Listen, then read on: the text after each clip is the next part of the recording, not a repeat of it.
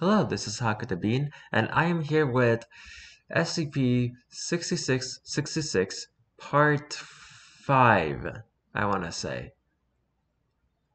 Also known as Addendum 11. if you enjoyed the video, please leave a like on the video, comment down below, and subscribe to the channel. And if you don't, that's fair. Anyway, let's get into this.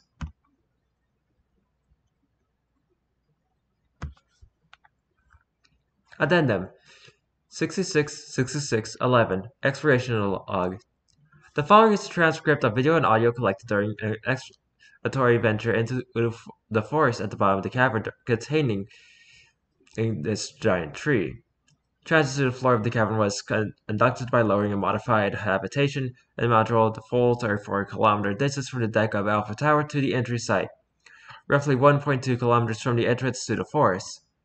Exploratory team members were fitted with Class C polyshell or positively pressured insertion suits with filtered respirators. Onboard air monitoring systems were fitted to each suit and reserved to ink up emergency oxygen was available in the event that the system reported a dangerous level of the SCP-6666 neurotoxin.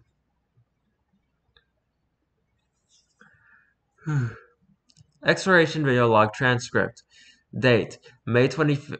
26, 2019. Support Team, Mobile Task Force hat at 1, Land of Longinus. Subject, SCP-6666. Team Lead, Commander Astral. Car Fire Team, Carrier, Horizon, Triple, Pressure, and Glass. Research Team, Dr. Bishop, Dr. Moore, Dr. Gutierrez, and Dr. Z. I'm not, not sure if I said that right. Anyway. Begin long. Ugh. Cobb's coming online. Control, do you read me? We read you, Commander. Your video is coming online now. Video comes online. Commander Astral is is sitting near the edge of the forest, is next to Ukaria, Horizon Triple, Pressure, and Glass. Supervisor er, Dr. Bishop and her team doc, her team's doctors Moore, Gutierrez, and Z is sent nearby.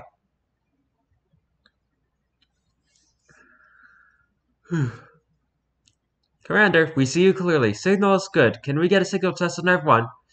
And else? Yep, let's read through it. Horizon, check. Glass, check. Carrier, check. Pressure, check. Triple, check. This is Bishop, check. Gutierrez, uh, check. Gutierrez.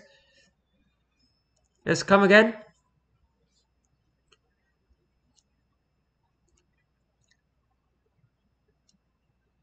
Check control, this is Gutierrez. I read you, over. Z, check, check. Copy, you all sound good. Confirm position. Roughly one click from the elevator. 200 meters or so from the tree line. Copy that, Commander. Can you confirm air quality? Glass. Reading at between uh, a 2.3 and a 6.1 ppm at our current location control.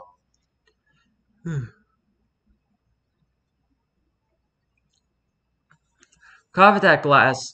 We're seeing the same thing. Team, be advised. We are unsure how accurately we will be able to track you in the forest. Our cameras have a hard time reading heat through the trees. If you need ballistic support, don't hesitate to pop flares or light up the foliage.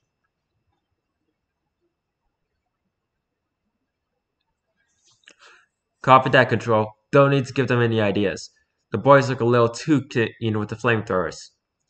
Disregard that control. We're all good here. To turn on the light at the first sign of trouble. Understood, Commander. Try to keep a leash on them. Copy as well, Control. Okay, I think we're ready. Everyone unready? Alright, let's move. The team approaches the wall of the forest. Angel Justice towards the scout, the insertion point, and the team enters the forest. The interior of the forest is exceedingly dark, more so than the cavern interior itself due to the light from the outer observatory tower floodlights and sunlight that enters through the access shaft. While there is some clearing by which the team can maneuver, the majority of the space within the forest is covered in thick, dark foliage. So what do you think we'll find in here, Miss Dr. Bishop? It's hard to say. There are really a thousand different things we could find that Dr. Malthus would consider valuable to our research.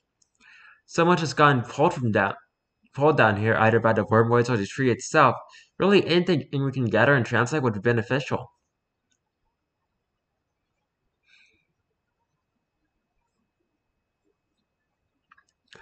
I heard, heard someone else mention that before too. Wormwoods. What's a wormwood? It's a actually Z. You were on that team, weren't you? Yes, I was. It was a, it was my summer before last. The wormwoods are well. It's a daylight weapon. First, off, the Daevites are another race of antediluvians, but different than the Sky Kings or the Zazatiri. They were blood magicians.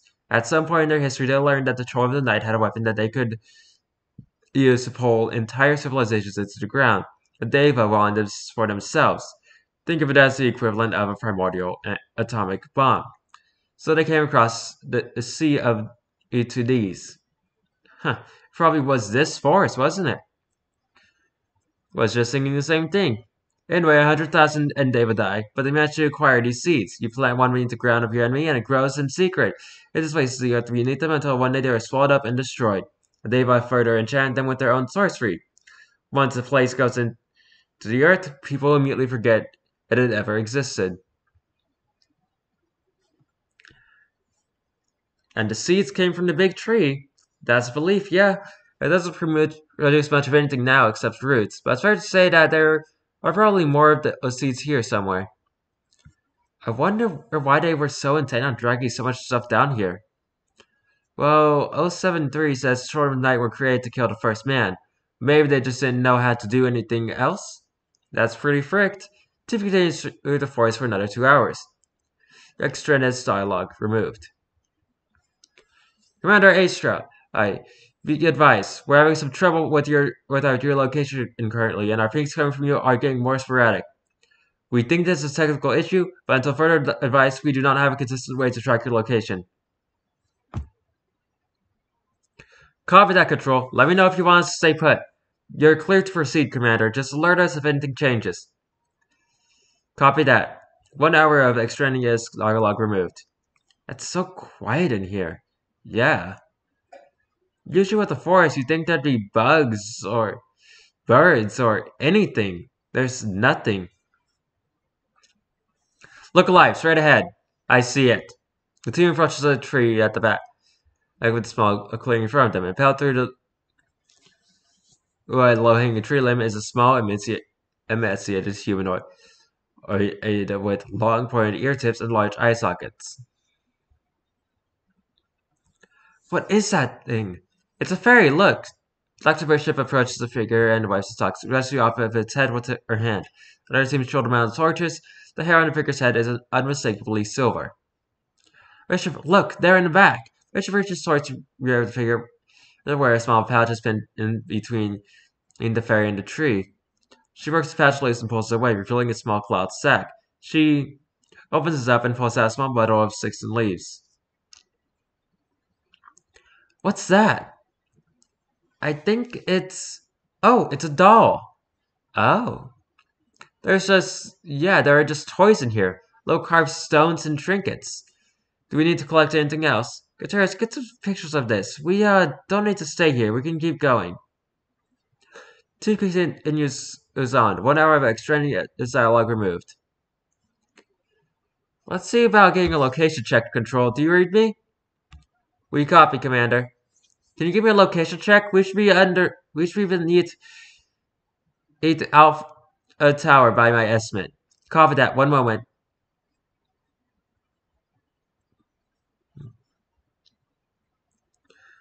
Commander Atria advised that we are still experiencing technical issues. Current EN do not have a location ping on any member of your party.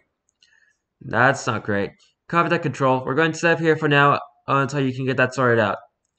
Copy. We'll keep you posted. Roll out the HAV and between those two trees, pressure. Triple, let's get the ISOs out to scrub the suits. We'll set up shop here for a bit and see if we can write out the issues. Exploration team begins setting up the camp using inflatable positive pressure habitation tent and air ionizers. Extra is dialogue removed. After several hours of waiting, the team sets up of watch chips and begins to sleep. Time passes. Extraneous dialogue removed. So um, at 3.51 a.m. In local time. Horizon has to watch. Dr. Moore awakens abruptly with a scream. What is it? What's wrong? I... I. I saw.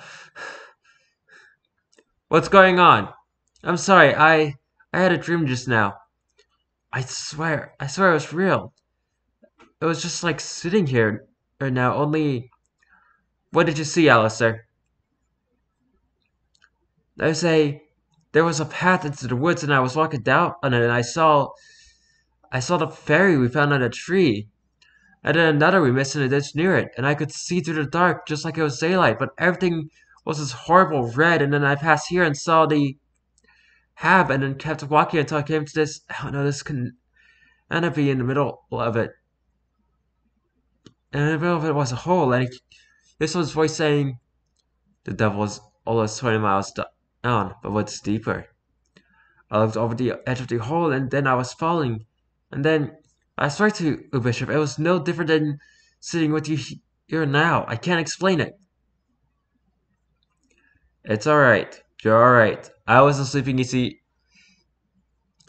either. Control, this is A-Strike. Do you read me? Read Commander. Go ahead. We're experiencing some of the psychological effects detailed in Dr. Arnold's report. Can you confirm any precautionary measures we need to be taking? Copy that. Yeah, Commander. One more while we confirm. Commander, I'm sorry, I'm fine. You don't need to worry about it. It's alright, Dr. Moore. We don't want to take any chances. Commander Astral, we have reason to believe that any of the event psychological issues will become more prevalent the closer you get to the center of the forest.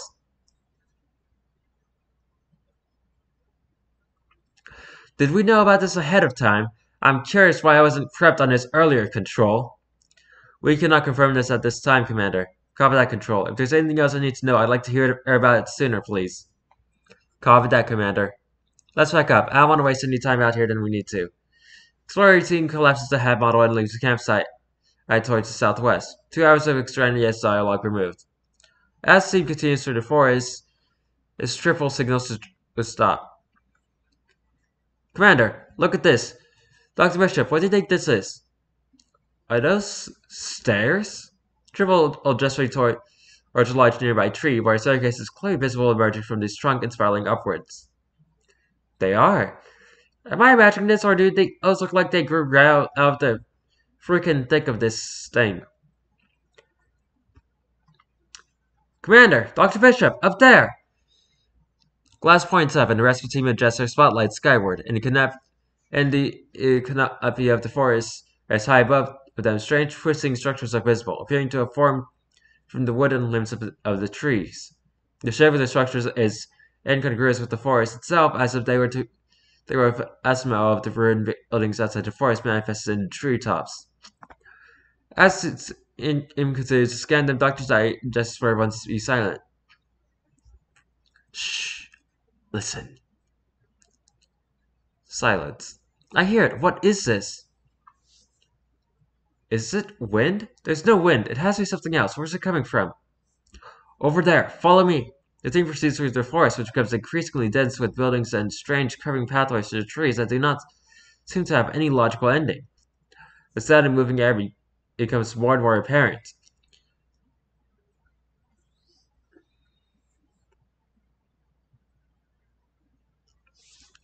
Control, this is A-Stray. Can we get a position check, please? Silence. Control, do you read me? Silence. Glass, do we have a comms link? What's going on here? There, over there. Look, a clearing. There's something in the clear in the center of it. Come on, Glass, please, if you can. I'm working on it, Commander. Hang tight. The team follows Dr. Gutierrez its direction towards a gap in the dense of the trees. After a moment, they pass the gap into a wide clearing. This is it. Oh my god. What the heck is this? The team exits into the clearing, which is a perfect, a nearly perfect circle of open space covered in low, thick grass. Arching overhead are trees, much larger than the surrounding forest. Portal then towards each, they try to create a massive dome in the forest. Hanging from the arched trees overhead are thousands of humanoid corpses. Some clearly human, and others resembling the figure the team had earlier found impaled on a tree limb. These figures are all shackled in some way to thick black chains that have been latched to the top of the dome.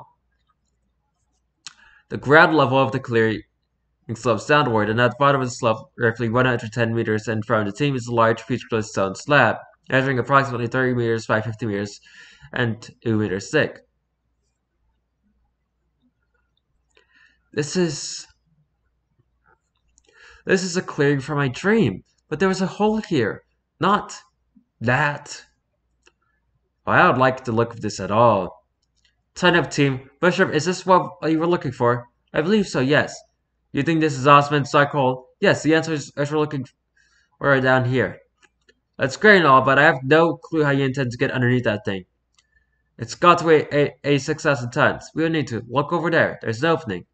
Glass motions to a section of slab near the, our corner, where a sizable chunk of the slab is broken. The broken piece of the sun lies embedded at half a half meter in the grass nearby. Let's go. The team approaches the broken section of slab. Ashtray approaches the, opening and looks down. Pretty deep. Horizon. Hand me a flare. Horizon pulls out a flare from the pack and hands it to Astro, who lights it and drops it into the opening. It falls roughly 12 meters and lands on the sun below. Huh, not that deep at all. Let's get a ladder set up here and brace on this rock. Inspect the a broken stone.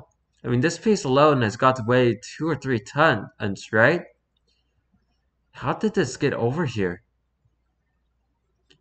That windy sound, do you hear it? It's coming from down there. Yep, I hear it. Like, Bishop, you're gonna have about 30 minutes down here before I pull, all this out. You understand? We're down in comms. We have at least six hours of hacking to get back to the elevator. And I want to stick around wait for whatever opens this hole. Oh, for us.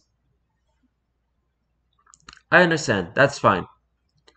Alright, Carrier, Glass, you come with me. Horizon, Pressure, Triple, you stay here and monitor the area. Alistair, uh, Pavlo, stay here with the field team. See what you can gather from this clearing. Yes, ma'am. And I have been uh, and and messing with the voice. Yes, of course. She with she, you're with me. Understood. X-ray carrier glass and Doctors Bishop and G descend in the ladder into space beneath the stone slab. The sound of moving air becomes more audible in the cavern below. Let's get the floodlights on in here. It's somehow darker here than it is up there. All five members of the cavern group turn on their flood lamps, fully illuminating the area around them. And the walls of the chamber are smooth gray stone, and the chamber itself is roughly five meters on each side, so as to get vertically to the stone slab above. Along the also recessed openings in the rock uh, many of which are empty, but some that contain wooden boxes found in chains. Against the walls are thick metal hooks and more chains hanging from the ceilings. There's a single door on the north wall. Alright, this is it. Let's go. The team goes through the doorway, which exits into a long hallway. The hallway contains more recessed openings, some of which contain wooden boxes, but others that contain various humanoid and animal bones. Some of the openings have been sealed using a kind of thick crystalline and wax. Carrier gestures a one opening where a mural was present, carved into the rock. The mural depicts many hundreds of dark like figures ending beneath the large tree with a red artifact in its center. As they continue forward, they pass sealed passageways overgrown with roots and more, are murals depicting various scenes of humanoid figures being bound in chains, dropped outside the pits full of bodies or set on fire. Present nearly every arrow is a picture of the same tree and red artifact. The hallway it winds around to the west, and Ezra motions to move around and bend. As the hallway it straightens back out, the, the team sees a large stone door at its head with another mural across its entire surface. The mural depicts a mass of dark figures with large yellow eyes huddled around the base of a large, curled, vaguely feminine figure with many arms wrapped around them, as dark clouds gather overhead. Ashtray approaches the doorway and pulls it back. The door easily swings open. Turning back to look at the rest of the team momentarily, Ashtray nods and enters the doorway. They exit into a circular room containing two staircases. One ascending on the left and one descending on the right. The ascending staircase is blocked off completely with stone, and rubble filling the stairwell as if having fallen from somewhere. Glass immediately motions to his air monitor, which shows elevated levels of toxic percolate in the chamber. Dr. Bishop approaches the descending staircase and gestures for the team to follow her down. They descend roughly 20 meters before reaching a landing, and then turning back to descend another 20 meters. At the bottom of the staircase is a wide arch opening as Dr. Bishop passes under the arch. She stops suddenly and holds up her hand. Asher comes alongside her. In front of them is an enormous chamber stretching out as far as the eye can see in every direction. though the ceiling is low. In a circle around the archway, and in a in concentric circles around that are large, unmoving humanoid figures covered entirely in slick dark hair, sitting on the stone floor and curled into the fetal position. They each are covered in the toxic dust that had previously emanated out of it, out of this out of the big tree. Glass reaches up and touches his ear, and the others nod, and it's a source of sound of moving air. As a normal number of curled figures breathe slowly in unison. Up above and in the dome clearing, Dr. Gutierrez and Dr. Moore inspect the exterior of the slab while Horizon, Pressure, and Triple scan the tree line. Suddenly a sound of something moving in the trees, causing Pressure to look towards the eastern edge of the clearing. What was that? There's something in the tree. There's something in the trees. Listen. What is it? Shh. Listen. Silence. Suddenly, all five members of the team in the clearing hear an unusual sound. It's laughter, as if from a child, but stretched unnaturally and echoing as if from far, far away. Both and Gutierrez come away from the edge of the slab towards pressure and horizon, as Triple advances on a spot at the edge of the clearing. The sound is heard again, although behind them, on the western side, all five team members turn to face the western edge of the clearing as sound is heard again. And above them. There, in the tree, there's something moving in the trees. There! The team turns to look, and as they do, they catch a glimpse of a large fleeting object moving quickly through the dark tree line, and before it disappears again. Once more, they hear the sound of this strange laughter, which stops suddenly. Where'd it go? Suddenly another sound is heard, different than first, a high-pitched whine, crackling and unnaturally tonal, seemingly coming from somewhere above them. The sound continues for another 15 seconds and then stops suddenly. What the heck was that? Suddenly the ground underneath them shakes and the sound of geological movement can be heard across the entire chamber. The arched trees overhead begin to wrestle and then with the, with the sound of yawning wood begin to pull back from each other, revealing an inky blackness overhead. And the far distance of the dim light of the powerful observation tower flood lamps can be seen through the dark. As the trees fall away and straighten, the radio crackles.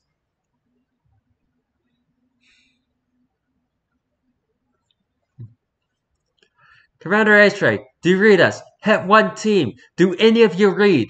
This is pressure. Go ahead. Where's Astray? She went and below with Bishop and half the team. There's some kind of opening in the earth down here. Pressure, be advised. There's another entity at your position we cannot identify. Control, we... The high-pitched whining sound cuts him off, and the cavern shakes again for six seconds before settling. What the heck is going... Suddenly the entire chamber is bathed in vibrant red light. The team looks skyway, where high above of overhead, the a, a corpse of a Titania has eliminated with red light emanating from the base of the entity. The team hears laughter again. At the same time, in the chamber below, the team braces as the reveling stops. As the earth settles, Nature looks at the others. Everyone good? I'm fine, thanks. Yeah, I'm good. Good. I think it's time to it's time to. I think the time to leave is now. Yes, let's. What happened to with the wind? Right, that's Astray saw as cut off as Archbishop gas. She sank back into the chamber beyond the archway where all the humanoid figures are now staring at the doorway, their eyes open and glowing yellow. There's a loud out snapping sound, and one of the figures in the fifth row oh, back moves suddenly, lifting its left arm, followed by another sound as it lifts its right.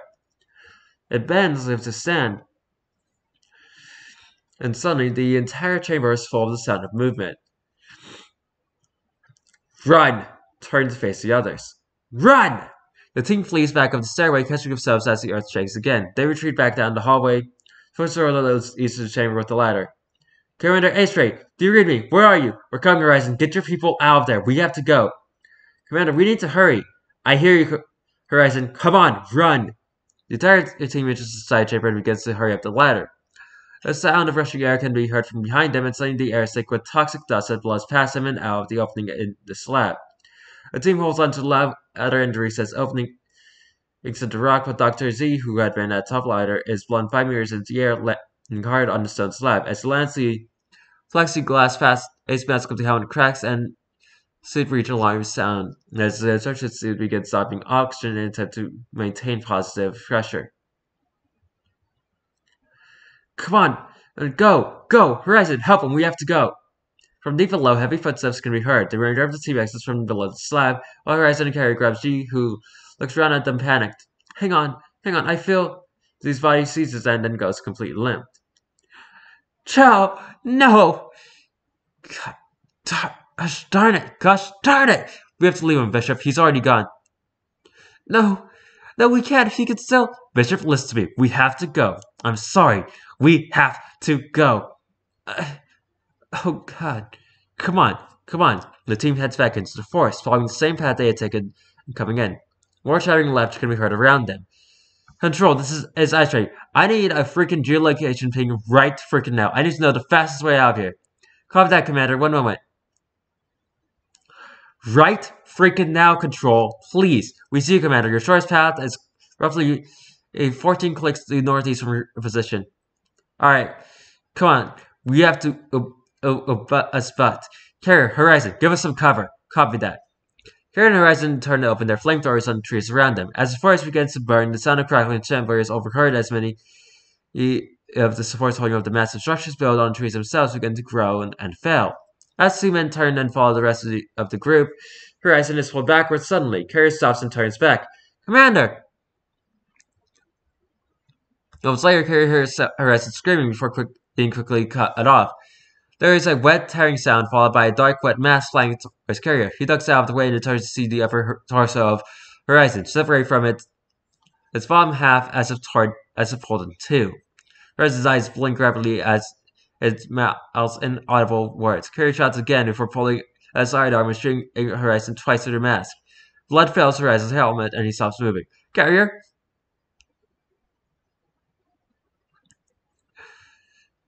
Commander, whatever's out here, God Horizon, I had to. Gosh darn it. Harry, come on, let's go quickly. Harry looks down at Horizon and again before running off after the rest of the team. The remaining members of the Het 1 team, along with the Doctors Bush Bishop, Gutierrez, and more, continue running without additional disturbance, pausing only briefly on four separate occasions to catch their uh, trip breath. After one hour and 34 minutes, the team emerges from a tree line out to the field of of humanoid remains previously mapped by Hero. The team turns north for 2 kilometers, making it back to the elevator after roughly 1 hour and 46 minutes.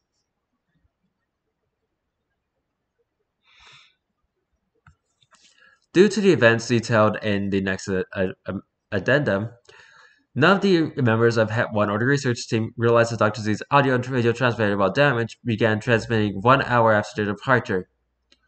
Zikov's violently rolls onto his back. Above him, the tree is now is visible, now glowing with bright red light.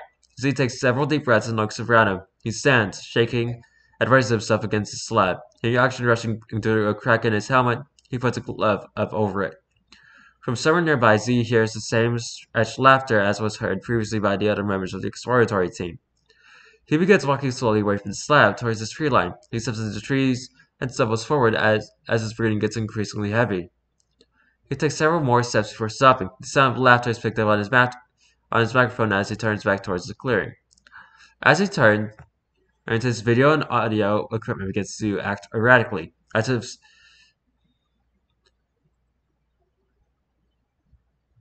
It is unknown if this behavior is a, is a result of a technical malfunction or changes to the space immediately around Z.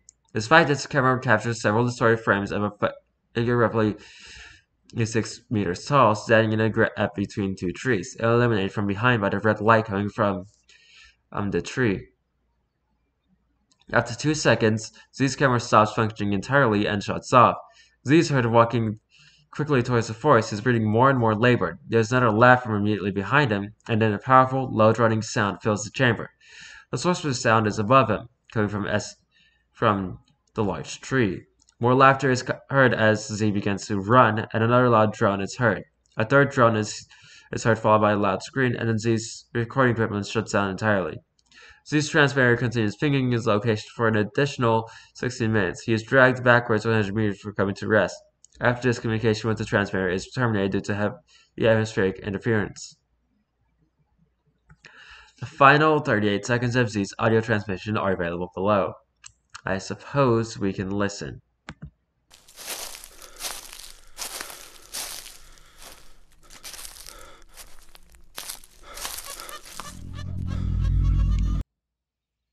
Actually, listening to that is probably a bad idea.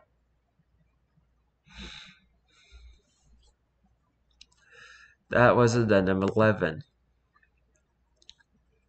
And that is it for today's video. So they tried to do their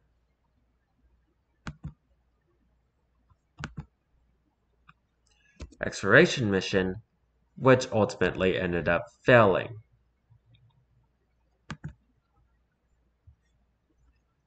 They did learn a lot, but they lost at least two members of their team.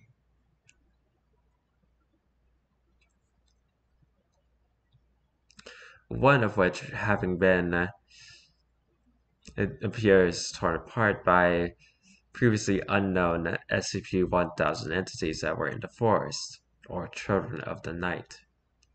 Anyway, if you enjoyed this video, please leave a like on the video, comment down below, and subscribe to the channel. And if you did not enjoy this video, then you wasted uh, 31 minutes on something that you didn't enjoy. At that point, it's on you. Goodbye.